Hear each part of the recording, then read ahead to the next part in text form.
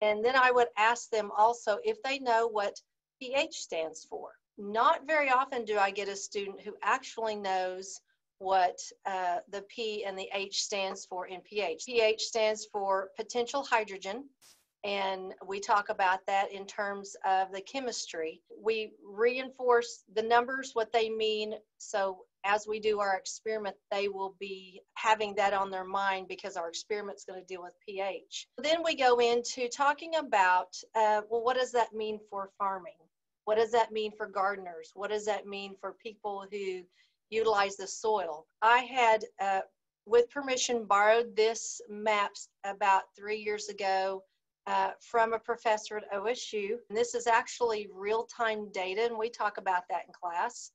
This is the average pH values of the counties in our state. They actually did this as a, a research position there at OSU uh, in the agronomy department. This is the map that they came out with. My kids that have a little experience will talk of they've seen different colors of soil or they know someone who maybe lives out here in the panhandle or in far west Oklahoma versus where we live. So we're up here. So Oklahoma overall has a lot of acidic soil. And another thing we got to keep in mind, and we discussed this too, because I like to talk about research in my class, is we discussed that these are actual numbers, but they're also from not everyone in that county.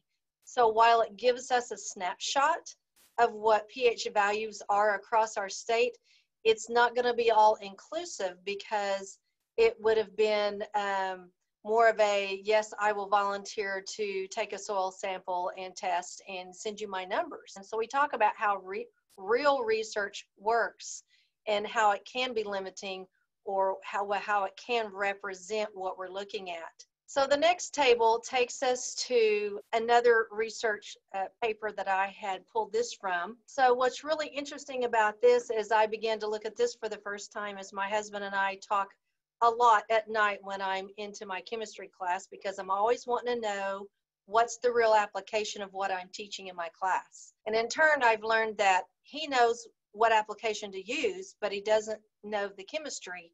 And so we have a lot of deep discussions at our house. But we grow wheat, corn, uh, alfalfa, soybeans, and of course we have cattle. But this is some relative average yields of bushels per acre based on pH values. So I thought this was very uh, applicable to what we're doing. If you look at alfalfa, let's look at 5.7 pH and alfalfa. This is your yield, the 40 about 42. If it was a pH of a little bit higher, look at the jump in what could be possibly grown Of course, we're also looking at other factors, but as we know experimentally, and we talk about this, that even though this was a number here, it could vary. And also, you've got to have all your other environmental factors going as well, such as rain and, and sun and all that balance. So, we're assuming uh, some of those that are all balanced, that if you can grow only 42 in a pH of 5.7, what would it look like at a 6.8? So let's also look at our wheat. We have an 89 bushel average at a 5.7, but if we jumped it up two, so looking at those two, which is two crops that we grow and we rotate our crops, those two would definitely both be able to be grown one after the other as we're rotating because of look at the pH.